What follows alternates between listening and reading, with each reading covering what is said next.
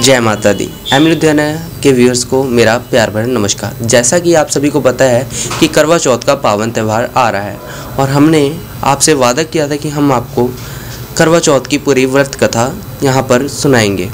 और हमारे साथ पंडित जी जुड़ने लगे हैं जो आप सभी को करवा चौथ की पूरी कथा बताएँगे। तो वीडियो में बने रहें और पूरी कथा सुनिए। ॐ गजाननं भूतगणादिसेवितं कपिशम्भुहल्जारोषणम् उमास्तं सौगनास्कारकं नमामि दिनेश्वरः पात्मञ्जमः वर्णानामृषङ्घानां ऋषाणां छन्सां पे मङ्गलानां च कर्तारुवन्दे वाणी विनायकः। बोलिए श्री गणपति महाराज की जय। श्री कृष्ण चंद्र भगवान की जय।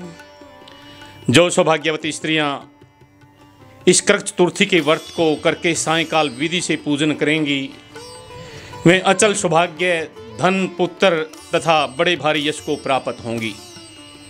करक, इस मंत्र को पढ़कर, दूध अथवा जल से भरा हुआ कलश लेकर, उसमें पंचरत्न डाल करके ब्राह्मण को देवें।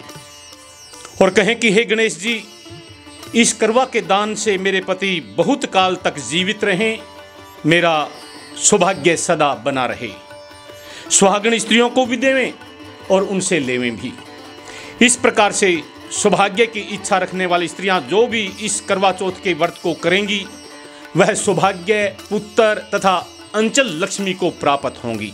बोली श्री गणपति महाराज की जय।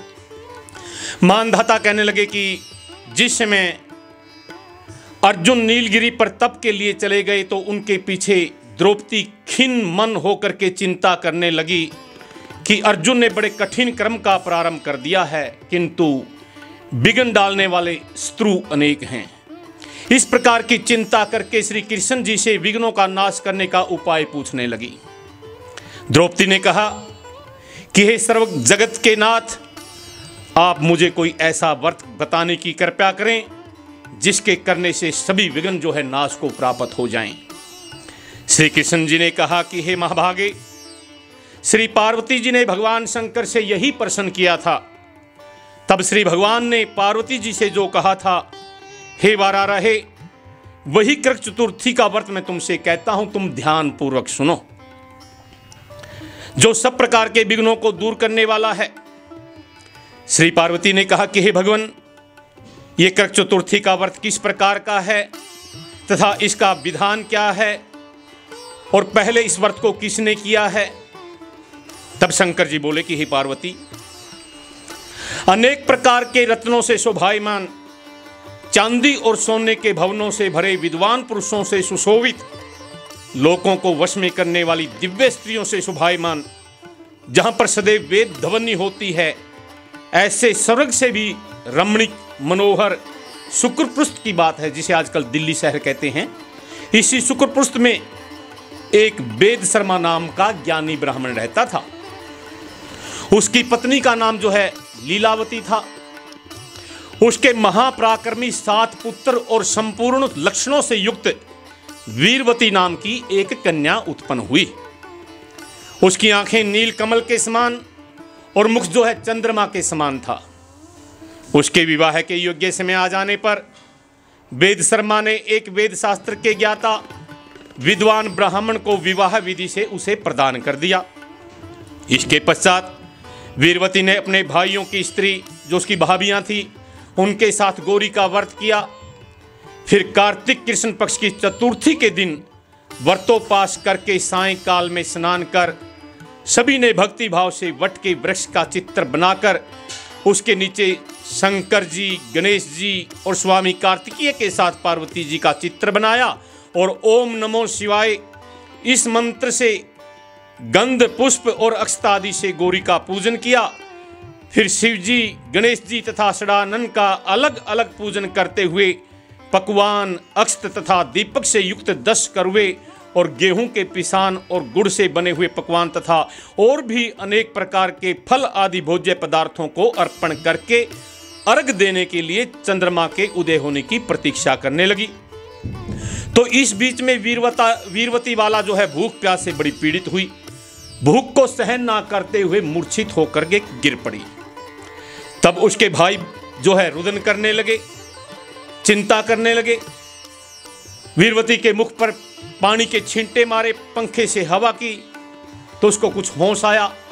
फिर भाई जो है वीरवती को, अपनी बहन को डांड सा बंधाने लगे, कहने लगे कि, बहन, चिंता मत करो, थोड़ी देर में ही चंद्रमा उदय होने वाले हैं और तुम फिर चंद्रमा को अर्घ दे करके जो है भोजन कर लेना। भाइयों ने बहन को डांड सा तो बंधा दी, हौसला तो दे दिया। परंतु भाइयों को पता था कि चंद्रमा उदय होने में तो अभी बहुत समय है। और जब तक चंद्रमा उदय होगा नहीं, तब तक बहन जो है कुछ खाए पिएगी नहीं। और तब तक तो ये भूख प्यास से वैसे ही मर जाएगी। भाइयों को बड़ी चिंता हुई। सोचने लगे क्या किया जाए। तो बहनों बहन को बचाने के लिए भाइयों ने एक विशेष योजना बनाई। जलती हुई लकड़ी लेकर के उसके आगे कपड़ा लगाया और ऐसा दृश्य बना दिया कि दूर से देखने में लग रहा था कि जैसे चंद्रमा निकल रहे हैं। और बहन से कहने लगी कि, बहन, देखो, चंद्रमा उदय हो गए हैं। तो वीरमती ने उस नकली चंद्रमा को ही असली जान लिया और उस नकली चंद्रमा को ही अर्घ दे करके जो है उसने भोजन कर लिया, जिससे उसका व्रत जो है दूषित हो गया। व्रत के दूषित हो जाने के कारण उसका पति जो है मृत्यु को प्राप्त हो गया। तब वीरवती ने अपने पति को मरा हुआ देखकर पुण्य शिव जी का पूजन किया और एक वर्ष तक निराहार व्रत किया और अपने पति के मृतक शरीर को जो है तेल में रखवा दिया। वर्ष के समाप्त होने पर फिर करवा चौथ आया। वीरवती ने पूर्वोक्त विधान से फिर करवा चौथ के व्रत को किया। तो उस दिन देव कन्याओं के साथ इंद्राणी भी करवा चौथ की व्रत कथा सुनने के लिए मंदिर में आई हुई थी। तो वीरवती ने इंद्राणी को पहचान लिया। वीरवती इंद्राणी के पास गई और वीरवती ने इंद्राणी से कहा कि हे इंद्राणी, आप मेरे भाग्य से आज यहाँ मंदिर में आई हैं और मैंने आपको पहचान लिया, आपके दर्शन हुए। सो, पिछले वर्ष जो मैंने अपने पिता के घर में करवा चौथ का व्रत किया तो मेरे पति मृत्यु को प्राप्त हो गए। मैं नहीं जानती किस पाप कर्म से मेरे को ऐसा बुरा बुरा फल मिला है। हे मातेश्वरी हमारे भाग्य से आज आप मंदिर में आई हैं। हमारे पति को जीवित करने की कृपया कीजिए। इंद्राणी ने कहा कि, हे सुबह गत वर्ष जो तुमने अपने पिता के घर में करवा चौथ का व्रत किया था तो बिना चंद्रमा के उदय हुए ही तुमने अर्घ दे दिया था। जो चंद्रमा तूने देखा था, वो असली चंद्रमा नहीं था, वो तो तेरे भाइयों ने जो है नकली दृश्य बनाया था। इसीलिए तुम्हारा पति जो है मृत्यु को प्राप्त हुआ। अगर अब भी तुम यतन के साथ करवा चौथ का व्रत करती हो तो उसके पुण्य के प्रताप से मैं तुम्हारे पति को अवश्य ही जीवित कर दूँगी। श्री कृष्ण जी कहने लगे कि, हे द्रौपदी, इंद्राणी के ये वचन सुनकर वीरवती ने विधि विधान के साथ ही करवा चौथ का व्रत किया। इस प्रकार इस करवा चतुर्थी के व्रत के करने से इंद्राणी ने प्रसन्न होकर के जल के द्वारा अभिषेचन करके उसके पति को जीवित कर दिया। वह देवताओं के समान हो गया। इसके पश्चात वीरवती अपने पति के साथ घर आकर आनंद करने लगी। वीरवती के व्रत के प्रभाव से उसका पति जो है धन, धान्य, पुत्र तथा लंबी आयु को प्राप्त हुआ।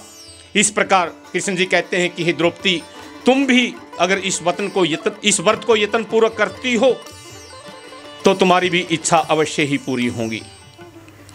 तो ऋषि कहने लगे, इस प्रकार श्री कृष्ण जी के वचनों को सुनकर द्रौपदी ने भी इस करवा चौथ के व्रत को किया तो इसी व्रत के प्रभाव से संग्राम में कौरवों को जीतकर पांडवों को अतुल्य राज्य की प्राप्ति हुई और उनके सभी दुख दूर हो गए।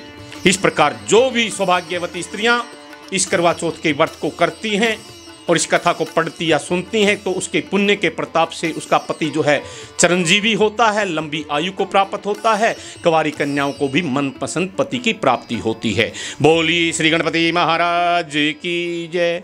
श्री कृष्ण चंद्र भगवान की जय।